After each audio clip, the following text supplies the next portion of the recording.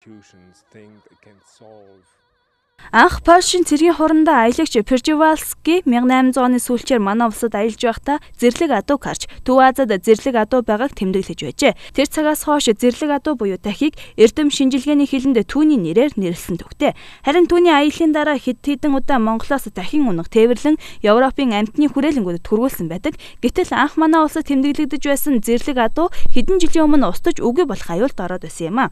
Иймээс Чех улсын засгийн газар болон Праг хотын амтны хүрээлэнтэй хамтран тахих сэргээ нутагшуулах төслийг хэрэгжүүлж эхэлсэн юм. Төслийн хүрээнд хустай нуруу, завхны хомын тал, Говьолтой аймгийн тахийн талд нийт 12 дахь нутагшуулж чамлахааргүй амжилтыг үзүүлж чадсан юм а. Харин энэ төслийн ажил энэ 2013 онд дуус болсон байна. Харин одоогоор манай улсад 430 тахь бүртгэлтэй байдаг байна.